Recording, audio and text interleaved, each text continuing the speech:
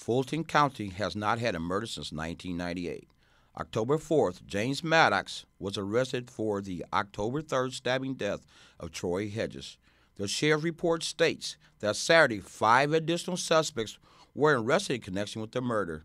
Charles Davis, seen here with a Nazi tattoo on his neck, was charged with two counts of obstruction of justice. Samantha Best, one count of aiding a fugitive. Eugene Tennyson, one count of aiding a fugitive. Cheryl Rowe, one count of obstructing justice. Jared Danner, one count of obstruction of justice.